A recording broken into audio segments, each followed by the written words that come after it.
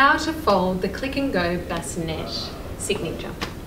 First of all, we're going to remove the boot cover from the top. There's just two press studs on both sides.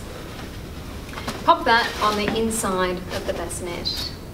We're going to open up the canopy and you just push both buttons on either side of the canopy.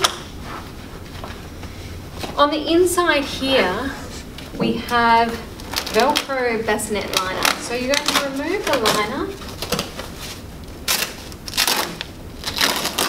all the way around.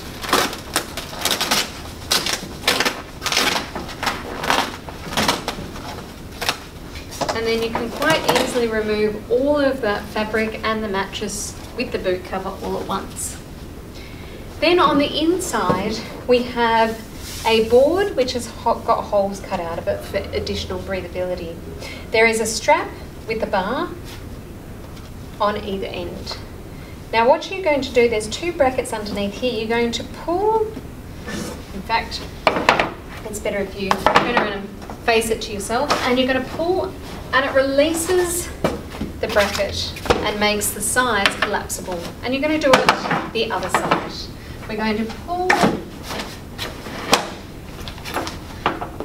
Now that has collapsed both sides and then you can see that that compresses down and we can lay the bassinet this way and pop the soft goods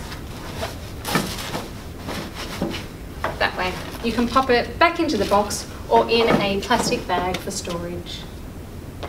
To reassemble quite easily, take the soft goods,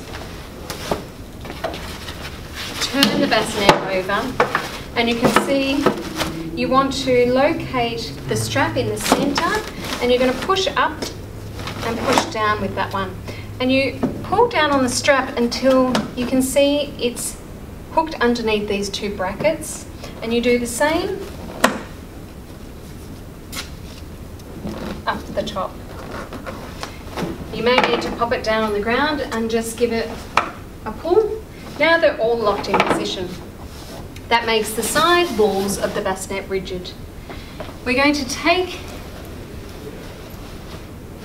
all of the fabrics and we're going to pop into the bottom of the bassinet and start with the Velcro at the bottom and work your way around each side until you have the Velcro lined up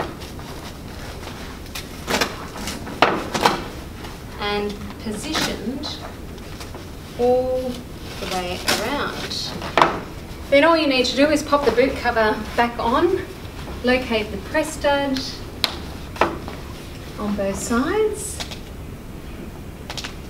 and then push the two buttons for the canopy and lift up and then pull forwards. And that's how you assemble and disassemble the Click and Go bassinet signature.